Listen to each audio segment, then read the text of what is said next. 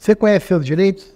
Um trabalhador está trabalhando normalmente na empresa, fazendo o seu serviço, e um colega está lá transportando determinado material. Aí esse colega de serviço, não ele, que está fazendo o que tem que ser feito, esse colega não amarra direito aquela carga, e aí quando a carga está sendo transportada, ela desamarra, cai sobre o trabalhador, causa uma lesão. Deixa ele aleijado, enfim. Isso aí se considera acidente de trabalho? Afinal de contas, ele estava parado.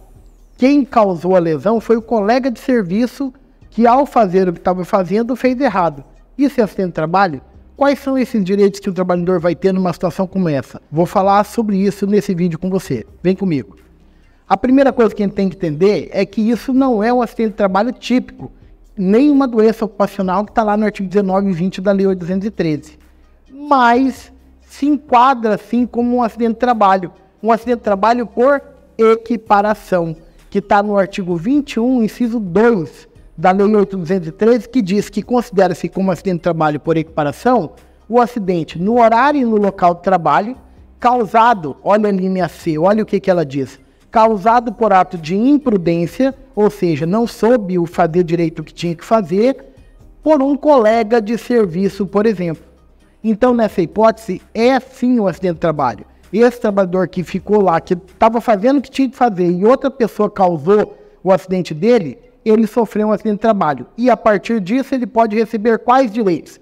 Ele pode receber o auxílio doença acidentária do INSS, ele pode receber aposentadoria por invalidez se ele não tiver como retornar ao trabalho, um auxílio acidente se só reduziu a capacidade de trabalho, mas ele consegue trabalhar fazendo outras coisas. Se ele veio a falecer, a sua família recebe uma pensão por morte decorrente de acidente de trabalho. Durante o período de afastamento, se ele ficou afastado mais de 15 dias, quando ele retorna ao trabalho, ele tem estabilidade acidentária de 12 meses, não pode ser mandado embora sem justa causa. Também, durante o período que ele está afastado lá no INSS para tratar daquela lesão causada pelo acidente de trabalho, a empresa tem que continuar recolhendo o FGTS dele. E, finalmente, se ficar provado que a empresa responde, teve dolo, culpa ou tem responsabilidade objetiva por aquele acidente, ele poderá pleitear uma indenização por dano moral, estético e material, um pensionamento vitalício por aquele acidente que ele sofreu na empresa ocasionado por um colega de serviço e não por ele. Você conhecia esse direito? Quer ajudar outras pessoas a conhecer o seu direito e saber como lutar por eles?